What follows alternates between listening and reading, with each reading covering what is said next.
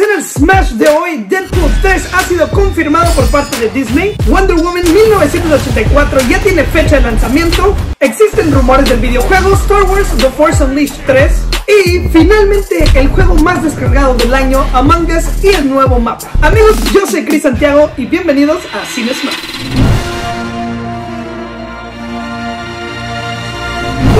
Con Deadpool 3, Marvel Studios y actor Ryan Reynolds ya se encuentran trabajando de nuevo en una nueva película del personaje Deadpool, la tercera entrega de este antihéroe. Después de que Fox fuera comprado por la compañía de Disney, la franquicia del personaje Deadpool tenía un futuro incierto debido a la clasificación de su trama. Pero afortunadamente para los fans, este personaje tendrá una tercera entrega en cines y ya se encuentran trabajando en el guion. Hasta el momento es la única noticia oficial que se conoce, pues esta película aún se encuentra en su etapa de inicio y la preproducción comenzará a paso lento debido a la pandemia que sigue afectando a todo el mundo y sobre todo a la industria del cine, por lo que habrá que esperar un tiempo antes de conocer otros detalles.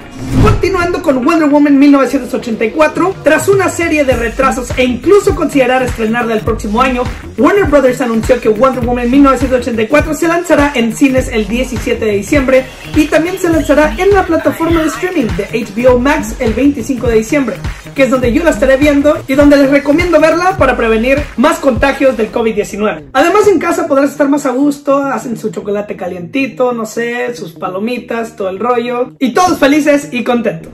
Si eres fan de los videojuegos de Star Wars, aquí te va esta. Surgen rumores que otro juego de la serie Star Wars The Force Unleashed podría estar en desarrollo. Es posible que EA busque continuar con la historia de Force Unleashed 2, que terminó de una manera suficientemente abierta como para hacer otro juego una posibilidad. Ahora, desafortunadamente, el director de EA entró en muy pocos detalles, más allá de su informe de que el juego existe en las primeras etapas de desarrollo. Espero que sí se lo avienten porque realmente me gustó bastante. Aquí tenemos Star Wars Force Unleashed 2. Si no lo han jugado y son fans de Star Wars, no sé qué están haciendo, vayan a jugarlo. Está pasadísimo, creo que ahorita está como a 10 dólares en la tienda. No sé, está barato, es de 360, Xbox 360. Así que amigos, no se lo pierdan y vayan a jugarlo. ¡Vayan a jugarlo!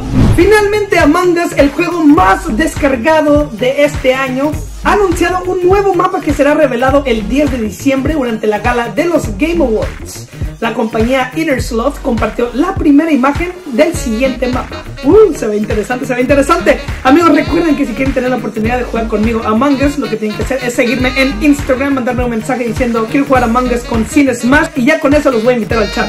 Y ahí nos aventamos nuestra partida de Among Us.